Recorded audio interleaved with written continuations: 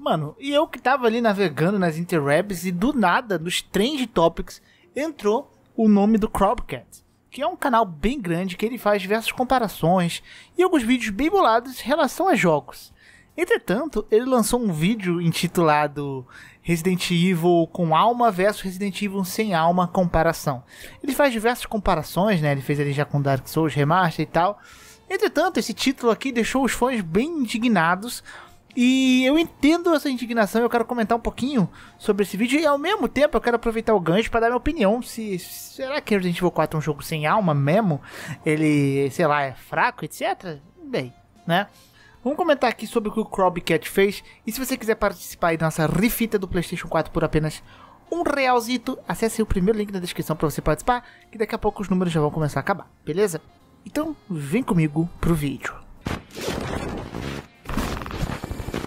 Então, né, o Cropcat, eu conheci ele, né, embora acho que ele já era bem mais conhecido antes. Foi num vídeo que ele fez sobre o Cyberpunk, e aquele vídeo é muito bom, de vira e mexe eu assisto de novo, porque ele vai mostrando os problemas de Cyberpunk, ao mesmo tempo que de fundo vai passando entrevista e coisas que os desenvolvedores falaram ou matérias falando de informações sobre o Cyberpunk e tudo aquilo que foi descumprido.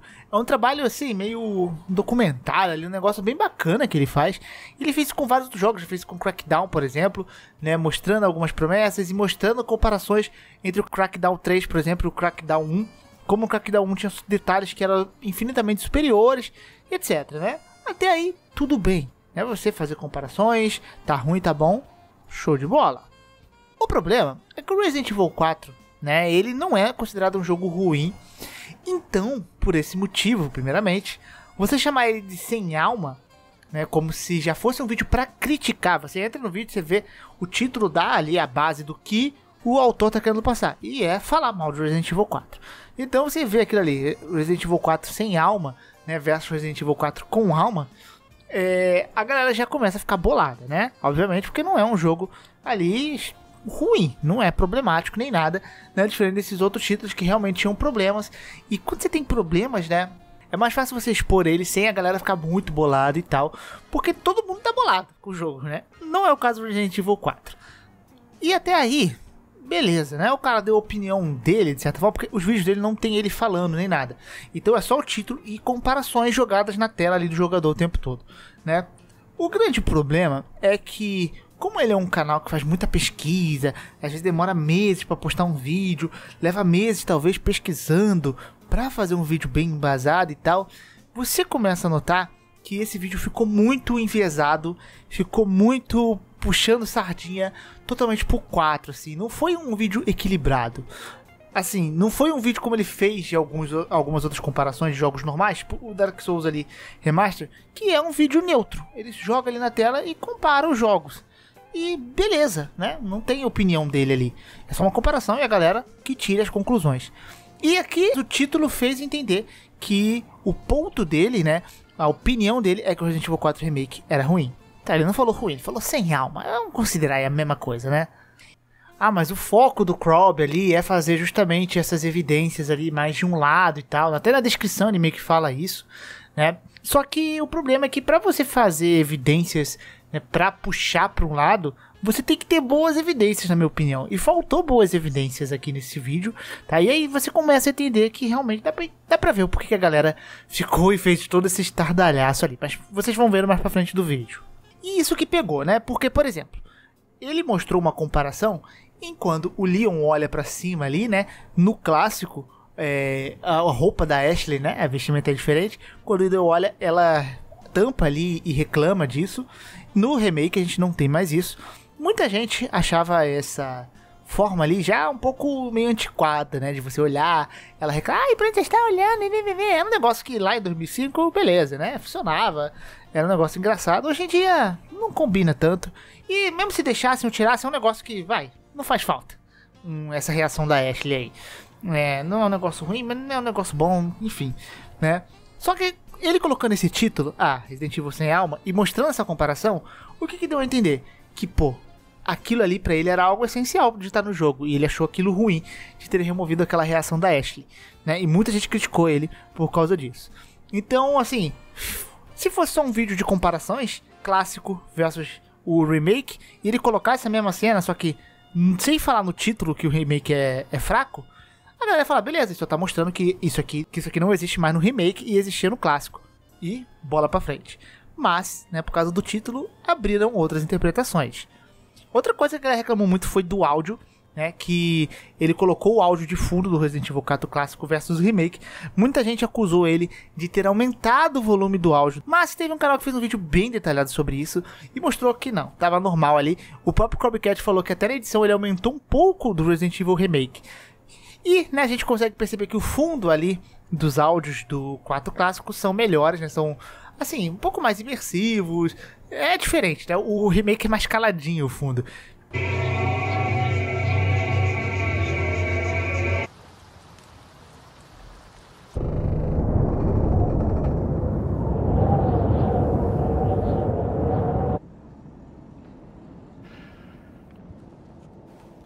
Nesse caso eu vou concordar. Eu acho realmente esses sons de fundo do clássico mais da hora em muitos aspectos, em muitos pontos do jogo, tá?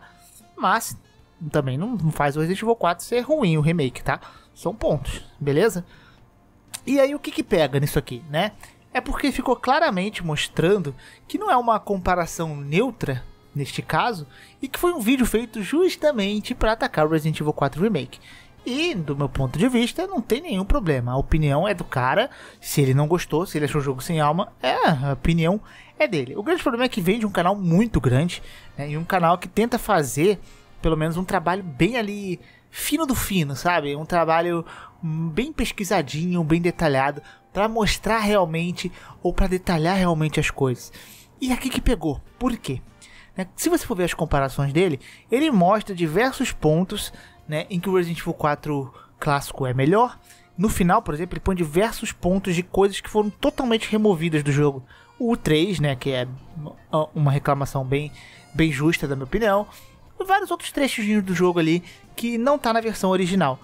Mas ele faz isso com o remake, porque o remake, né, ao mesmo tempo que tem algumas coisas que de fato foram tiradas, foram adicionadas também no remake. Ele não faz isso e quando faz não é, tipo, não chega nem aos pés da mesma proporção. O próprio Luiz, cara, o quão o 4 remake deu de tela para esse personagem, deu mais história, é, background, mais importância para esse personagem, que eu achava um personagem interessante, só que, cara, no clássico ele ia de base muito rápido. Se você passava pelo lado ali de quando ele falecia com a Ashley, a Ashley não comentava nada, por exemplo, né? E assim, deram um papel muito bacana para ele, para mim foi uma das melhores adições desse jogo, inclusive, e não tem nada disso sendo comentado no vídeo, basicamente. Então assim, você vê que foi um vídeo que ele pegou só pra colocar pro lado do clássico e não fez um trabalho justo. Tipo, no final ele mostrar tudo que foi cortado ali do clássico e depois mostra tudo que foi adicionado do remake. E aí, cara, tranquilo, perfeito. É, mas não. Então a gente consegue ver que foi um negócio feito justamente para falar mal do 4. Né? E aí, óbvio que ninguém achou isso bacana. Né? E outro ponto é que, por exemplo, no Resident Evil 3, que esse sim tem diversos problemas reclamáveis, ele não fez vídeo do 3, o que é muito louco, eu não entendi muito. Acho que foi meio que pra chamar a atenção, mas ele talvez não sabia que receberia tanto ali esse feedback negativo por parte dos fãs, né? Se for ver ali a meta de like e dislike dele, tá bem alto os dislikes.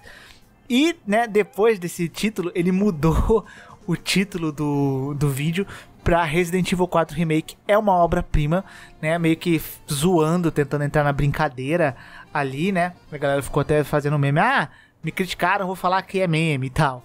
E agora ele voltou. Se você for ver, tá o título original mesmo. Ele voltou pro título que foi mais polêmico. Aí, tá? Mas é óbvio que a galera ficou bem chateada, vindo de um canal muito grande, fazer um negócio bem tendencioso dessa forma, e os fãs não gostaram nem um pouquinho. E sobre a minha opinião, é que sim, ali dentro daquele vídeo, de fato, tem críticas de coisas boas em que o 4 clássico fazia bacana. O som, por exemplo, é uma coisa que eu gosto mais do clássico, né? Alguns outros pontos. É, ele comparou muitas cutscenes, como elas mudaram e, né, ficaram diferentes. Só que aí também no remake a gente tem tanta interação nova, tantas linhas de diálogos diferentes, né? Eu, por exemplo, trago muito aqui as curiosidades. A gente tem muito detalhezinho e curiosidade nova nesse jogo que também seria interessante falar, né? Cutscenes novas e que não fala ali. Então, a gente vê, assim, de fato, tem coisinha no clássico que a gente vai gostar mais. Isso é extremamente natural. Mas o remake também é muito bom, foi muito bem feito, né? Eles conseguiram, para mim, com exceção de alguns detalhes, mas em geral, eles conseguiram deixar um pouco diferente, ao mesmo tempo da gente saber que aquilo é um 4 remake, né, com uma boa quantidade de conteúdo, e eu acho que é isso. É algo, inclusive, que eu sinto muita falta no Demon Souls Remake. Eu queria que tivesse mais conteúdos ali. Muita gente queria aquela pedra ali quebrada, né, que era um reino que foi cortado, que fosse levado para ali, que fosse uma parada pequenininha extra. Né? A gente queria algo mais mudança. Né? E o 4 para mim ele faz isso na dose excelente, cara. É muito bacana para mim a, a dose que eles fizeram, eles dosaram muito bem o que precisava mudar, o que mudou, algumas coisas para dar uma reimaginada ficou ótimo para mim, né? Claro, não tem problema nenhum se você prefere o clássico, você não acha que o remake ficou tão bom, pô, beleza, é sua opinião, né? Como eu falei, cada um tem a sua opinião. Você tem o clássico lá para jogar ainda disponível, né? E você tem todo o direito de criticar. Ainda mais se você comprou o jogo, tu é consumidor, mano. Pode falar, eu não gostei, né?